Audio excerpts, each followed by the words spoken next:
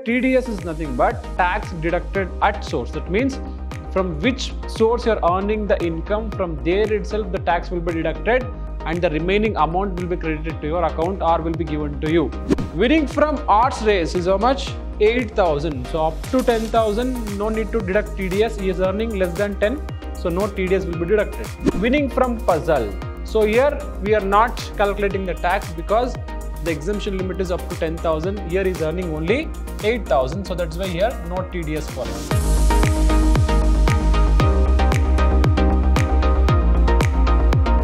Hello everyone, I'm Arun Kumar, lecturer in Department of Commerce and Management, Vidhyaashram First Grade College, the Temple of Excellence, Mysore. Dear students, welcome to this new session, session number 3 on unit number 5 that is tax deduction at source and advanced tax ruling. Yes, dear students, in the previous session we discussed about the different sections and deductions what we have under section 80C to 80U with respect to individual. If he is an individual person or if he is a HUF, that is Hindu undivided family, what and all the exemptions he can take, what and all the deductions he can take from section 80C to 80U from his gross total income. About this concept we discussed in the earlier session. So dear students, in this session we are going to discuss about the concept called the tax deduction at source. That means TDS. So here in this particular concept, dear students, you have to understand that what is TDS and who is liable to pay TDS and why the TDS is deducted. So here TDS is nothing but tax deducted at source. That means from which source you are earning the income, from there itself the tax will be deducted and the remaining amount will be credited to your account or will be given to you. For example, go to a arts club and you do some, you know, or you're going to win some, you know, uh, amount. Okay, like, let us say 50,000. So 50,000 is the income what you're earning, but they'll not give full 50,000. Okay, they deduct 30% of tax of rupees 15,000 and they'll pay you the remaining amount of 35,000. They deduct 15,000 and pay you the balance of 35,000. So here they are deducting the tax at source of income itself. That means from where you are earning the income, there itself they deduct the tax and they pay you the remaining amount. So in which kind of incomes or in what source of incomes they are going to deduct the taxes and at what rate they'll be deducting the taxes. So now we will be looking into that particular aspect. So if it comes to salaries, if it comes to salaries, it comes under section 192 for deduction purpose and there is no you know uh, exemption limit and all. So the total average rate, the total income divided by 12 months equals TDS. That means whatever the total will come, whatever the total salary will be receiving for 12 months or for the whole year that will be divided by 12 months and for particular month whatever the TDS is supposed to be payable that much is supposed to be payable. Sometimes some employers will be deducting 10% of their salary as TDS. So what will be the 10% of your salary for for example let us say 30,000 is your salary. What is the 10% of your 30,000? Yes obviously it is 3,000. So every year they will be deducting 3000 rupees of TDS from your salary account. So this is how it works with respect to salary. Next one, premature withdraw from employee provident fund. So here, if you are withdrawing the provident fund for more than 50,000, then they'll be deducting 10% of your withdrawn amount if you are providing the PAN card. If you are not providing the PAN card, then they'll be deducting 20% of amount withdrawn. For example, if it is a you know uh, PF uh, you know withdrawal and you are withdrawing more than 50,000 rupees and you are not submitted the PAN card, at that time they'll be deducting 20%. If you are submitting PAN card, then they deduct 10%.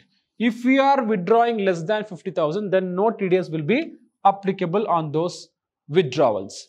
Next one, interest on securities. Yes, interest on securities, it is also 10% TDS they'll be deducting and for first 10,000, that means if you are receiving the interest up to 10,000, no TDS, more than 10,000, 10% TDS. Okay, yes. The next point, interest on bank deposit and post office deposits. Yes, here also up to 10,000, no TDS, more than 10,000, they'll be deducting 10% TDS. And next one, interest on securities in registered firm. Yes, up to 5,000, no TDS. More than 5,000, they'll be deducting 10% of TDS. Next, winning from lottery puzzle games. Yes, uh, winning from you know a lottery or puzzle game, those kind of gamblings. Up to 10,000, they won't deduct TDS. If you are winning 10,000, they won't deduct, they'll give full cash of 10,000. If you are winning more than 10,000, then they'll be deducting 30% of your total income. Next, winning from horse race, here also up to 10,000, they won't deduct. More than 10,000, they'll deduct 30% of TDS. And insurance commission for agents, yes, up to 15,000, they won't deduct anything for insurance commission more than 15,000 they'll be deducting yes 5% of the income as TDS. Next one payment in respect of LIC policy. Yes here up to rupees 1 lakh they will not be deducting anything. If you are did you know, taking more than 1 lakh rupees they'll be deducting 1%. Next, next withdraw from National Savings Scheme that is NSC up to 2500 if you are withdrawing no TDS will be deducted more than that they will be deducting 10%. Next, commission on sale of lottery tickets. So, up to 15,000, they will not be deducting any TDS. More than 15,000 if you are receiving, then they will be deducting 5%. Next thing is, any commissions and brokerage if you are receiving, up to 15,000 no tax. More than 15,000, they will be deducting 5% of TDS. Next, transfer or sale of immovable property. So, up to 50 lakh, you need not to pay TDS if you are receiving more than 50 lakhs in, you know, at the time of transferring the immovable property, then they will be charging 1% TDS if you provide PAN details. If you are not providing PAN details, then they will be deducting 20%. Next, rent paid on land and building. So, up to 50,000 no TDS, more than 50,000 10%. So, the 5% they will be imposing. Professional or technical fees up to 30,000 if you are receiving no TDS. More than that, they'll be deducting or they'll be charging 10% tax. Next, any compensation for acquisition of immovable property. If you are receiving any compensation by the government for acquisition of immovable property, that is the land or the building, up to 2 lakh 50 if you are receiving no tax, more than 2 lakh 50 they'll be deducting, yes, it is 10% tax. So these are all the different rates what we have for different types of, you know, the incomes what we earn and the exemption limit also.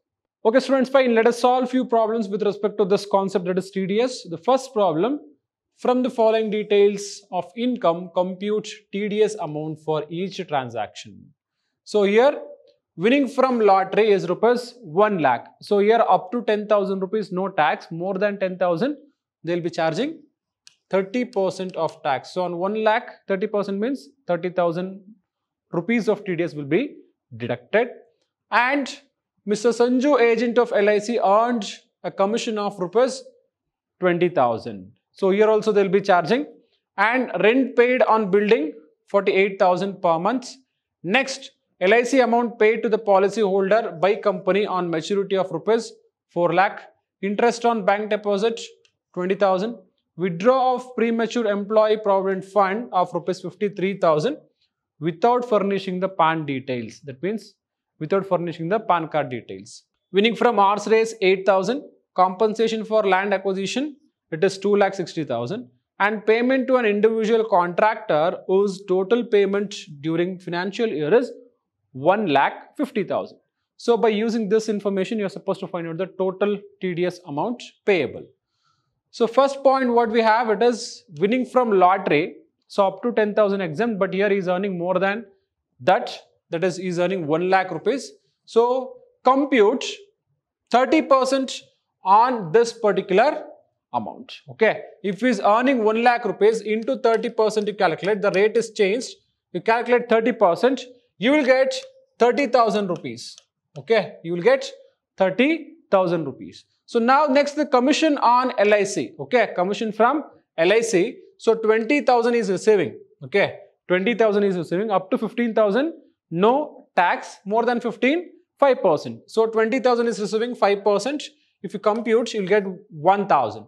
Next, rent on building. So rent on building is receiving 48,000. So up to 50,000 if he is receiving no tax. If he is receiving more than 50,000, then it is TDS will be deducted.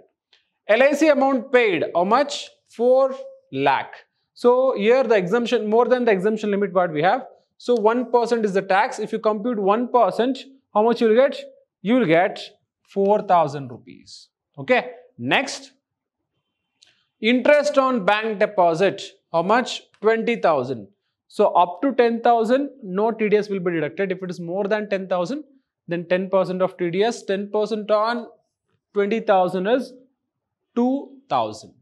Next, withdraw from PF account is 53,000. Up to 50,000 they will not be deducting, more than 50,000 they will be deducting.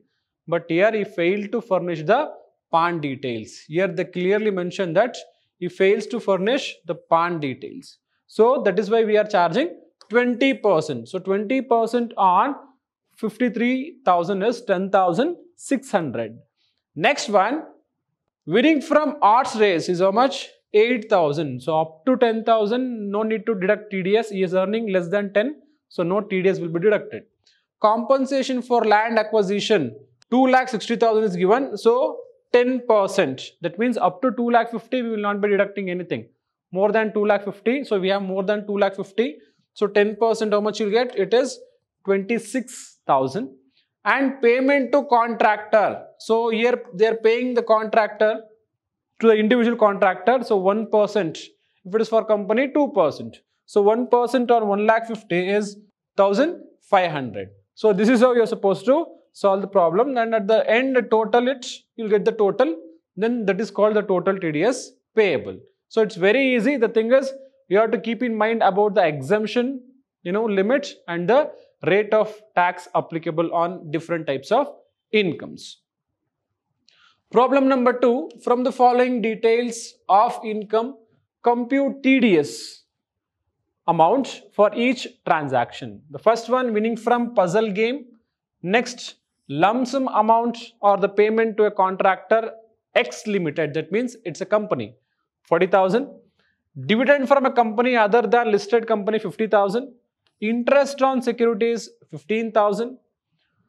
Commission earned by an insurance agent is rupees 40,000. Sale of building rupees 49 lakhs. Withdraw from National Savings Scheme 5,000 and rent paid on building is rupees 68,000 per month. LIC amount paid to the policy holder by company on maturity is 2 lakhs and withdraw of premature employee provident fund is rupees 53,000. So in this, the same format, no changes in the format. The first is what? What we have? Winning from puzzle. So here we are not calculating the tax because the exemption limit is up to 10,000. here Here is earning only 8,000. So that's why here no TDS for him. Next point, lump sum payment to a contractor that is X limited. So what is the amount he is receiving? He is receiving 40,000 if it is individual, 1% TDS will be deducted. If it is a company, then 2% TDS will be deducted. The amount is 800 because it's a company. Next, dividend from a company other than listed company. That means here the company is not listed, it is non-listed. Again, amount receiving is 50,000. Dividend is up to 10,000, no tax. But here it is more than that. So 10%. So 5,000 will be the TDS amount. Next, interest on securities. So up to 10,000 is exempt, but here it is more than 10. So 10% tax is applicable, 1,500. Very easy. Next, commission earned by an insurance agent is how much? 40,000. So more than the exemption limit. So 5% is the rate of TDS applicable. 2000 is the TDS amount. Next, sale of building. So up to 50 lakh, no TDS will be deducted. So here, here the amount he received is less than 50 lakh. So no TDS will be deducted. Next one, withdrawn from National Savings Scheme that is from NSC. So 5000 is receiving 10% you'll get 500 rupees is the TDS amount. So the next point, rent on building, rent paid on building. Here the rent received is more than 50,000 because the exemption limit is 50. If you have more than 50, you'll be calculating 5%. So 68,000 into 5%, 3,400. Next, LIC amount paid to the policy holder. Yes, it is 2 lakh rupees. 10% is this TDS, 20,000 you will get.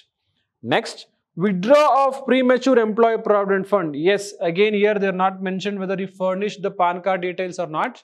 So we assume that the PAN card details are furnished and we calculate 10% TDS because the amount is more than 50,000. So you will get 5,300. So this is how you are supposed to compute. At the end total it, you will get the total. The total will be called as the total TDS deducted. Moving further, problem number 3. So in this problem also we have few incomes. So from the following details of income, compute TDS amount for each transaction. So first point, sale of land to a resident rupees 55 lakhs without furnishing PAN. So here it is more than 50 lakhs, then obviously tax is applicable. The two without PAN, yes, obviously 20% of TDS is applicable on this transaction. Next, compensation for acquisition of building, 2 lakh 65. That means up to 2 lakh 50 it is nil. More than 2 lakh 55 it is chargeable. It is more than 2 lakh 50,000 so it is chargeable. Next, technical fees collected. Yes, up to 30,000 it is not, you know, the TDS is not applicable. The amount is more than 30,000 so TDS is applicable. So winning from lottery up to 10,000 it is not applicable. More than 10,000 30% is applicable. So here it is applicable. TDS is applicable. Next, LIC payment to policy holder. Yes, obviously it is applicable to this transaction also. TDS is applicable. Next, payment made to a contractor, Mr. B is rupees 20,000. However, the total payment in the financial is 1 lakh 50,000. Next, interest on bank deposit is rupees 6,000. So here we will not be calculating TDS because the exemption limit is up to 10,000. So they are receiving less than 10,000. So no TDS. Winning from card games 12,000. Yes, it is more than 10,000. So 30% of TDS is applicable. So let us solve the problem. Sale of land. Yes, as I said, they are not mentioned the, they are not provided the PAN card details. So 55 lakh into 20% you will get 11 lakh rupees. So 11 lakh is supposed to pay as TDS on his you know, total income of 55,000, 55 lakhs. Next, compensation for acquisition of other sources. So here the composition for acquisition, okay, composition for acquisition by the government. So how much is receiving? Is receiving 2 lakh 65,000. So 10% because amount is more than 2 lakh 50. 10% is 26,500. Next technical fees collected obviously 10% is applicable because it is more than 30,000. Up to 30 is it is exempt. Here we have more than 30, so 10%, 3,500 is the tax applicable. Next, winning from lottery, it is 40,000. So 30% on 40,000, how much you'll get? Obviously, you'll get 12,000. Got it? Next point, LIC payment of rupees 1 lakh. So 1% is applicable, that is 1,000. Next, Payment to contractor, it is 1 lakh 50,000. They are only mentioned that the total payment in the financial is 1 lakh 50,000. So 1% is applicable. It is paid to an individual. So 1500. Next, interest on bank deposit. Here interest on bank deposit is 6,000. So less than the exemption limit of 10,000. So no TDS will be deducted here because they are receiving only 6,000. Winning from card games, they are receiving 12,000 rupees. They are receiving 12,000 rupees and here the tax is applicable because the amount is more than the exemption limit of rupees 30,000. So, the exemption limit of rupees 10,000. So, here compute 30% on 12,000, you will get 3,600. So, now total it, you will get the total. The total will be called as the total TDS amount payable. So, this is how you are supposed to compute the TDS amount if they give the you know different incomes and you should also have the knowledge of what is the exemption limit and what is the you know rate of tax applicable about this and all if you have the knowledge so easily you can solve the problems and they might ask this kind of questions in the main exam for 10 marks also so study well and it is very easy also you can score very good marks if you learn this exemption limit and the rate of TDS applicable on different transactions. So with this, I'm going to wind up this session. I'll come up with few more new topics. Until then, thank you all. Have a nice day. Namaste.